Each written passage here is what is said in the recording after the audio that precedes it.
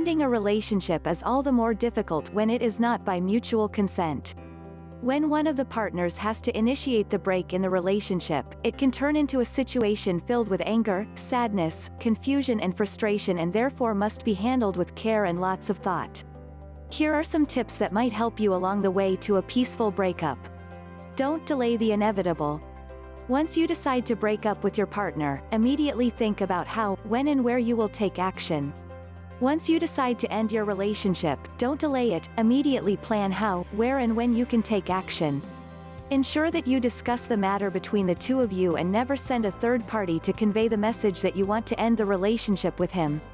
Make sure that you assess the issue from a clear, rational perspective and never make a decision, especially this big, when you feel angry. Take the time to consider the consequences of all your possible actions. Whatever you choose to do, you must be confident in your decision. Be confident. The moment you decide to break up with somebody, you have to realize that it implies that a conversation to resolve issues is not even a possibility. If it is a possibility for you, maybe you should think of approaching your talk with your man as more of a relationship counseling sort of way, instead of a breakup. Generally speaking, breakups do not get reversed and the relationship will be unsalvageable. Not being totally sure of your feelings when you go to end a relationship can mess with your heart and his. If you're not completely certain that it's the right thing to do, you'll confuse him and make him feel like he still has a chance, or worse, you'll lose him when you still have feelings for him.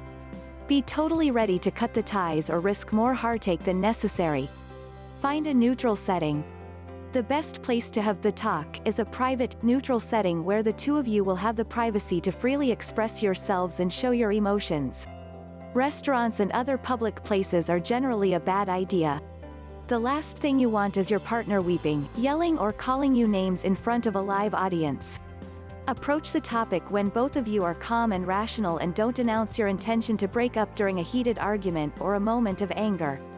On the other hand, if you are afraid that your partner may react violently, definitely end your relationship in a public setting where you can call for help if necessary. Never break up with someone at work.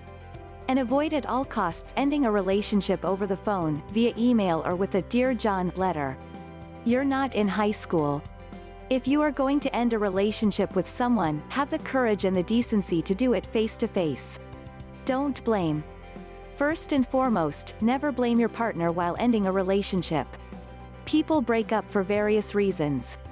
Often, the breakup occurs because the relationship didn't work out. Remember, it takes two to make a relationship work. You have to realize that the experiences in your relationships, and issues that came up did so to teach you a lesson. It's hard to see what lesson is taught after being cheated on, for example, but if you look deep enough you might reflect back on some times you were a little too naive, or ignored blaring red flags. Whatever the case, think of your relationship as a rough draft. You learn what worked for you and what didn't make sense, so that you can revise your issues and make it even better next time. Respect and honesty, Remind your partner that you'll never forget the positive qualities in your relationship, but emphasize that you're ready to move on with your life. If you leave a person with respect you will always have their respect.